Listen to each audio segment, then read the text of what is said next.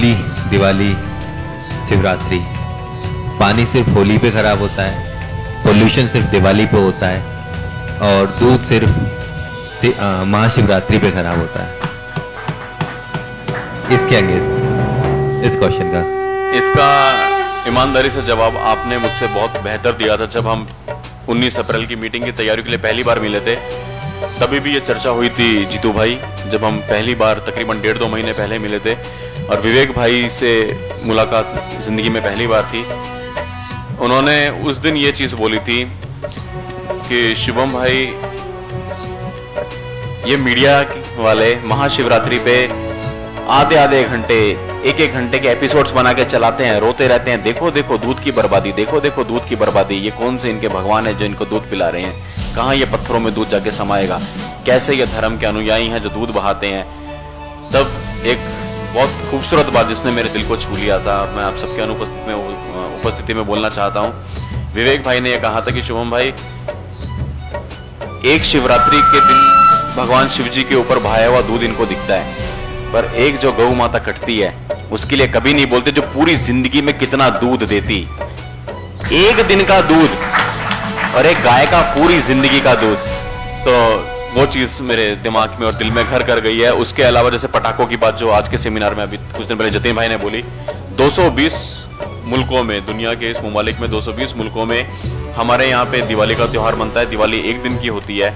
उसके लिए सारे चैनल्स रोना शुरू कर देंगे। नॉइस पोल्यूशन एयर पोल्यूशन क्या है, ये कैसा कल्चर है, ऐसा कैसा जश्न है, किस बात के पटाखे?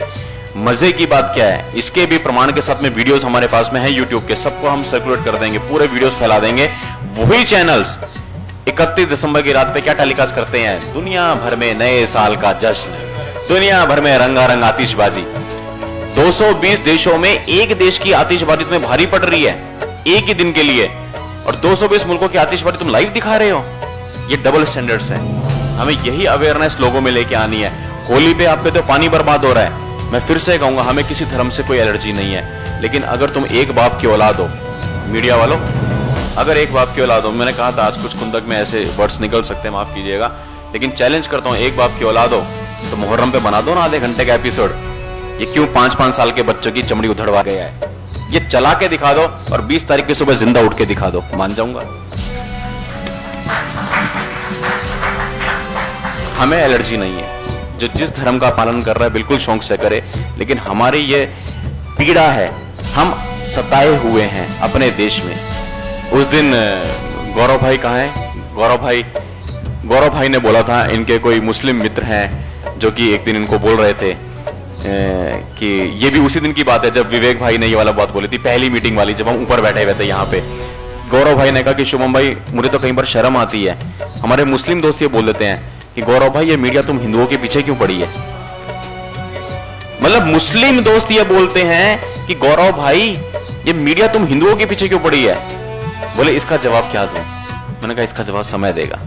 हमें किसी से नाराज़गी नहीं है, किसी धर्म से एलर्जी नहीं है, लेकिन हाँ मीडिया को आईना दिखाने का समय आ गया है और मीडिया ने हमारा जितना भी शोषण किया है, उनको सूद समेत हम वापस लौटाएँगे। आसान रास्ता मैंने सेमिनार में बीच में बोला था, वो आसान रास्ता है, वो हम नहीं इख्तियार करेंगे, हम मुश्किल पथ पे चलेंगे।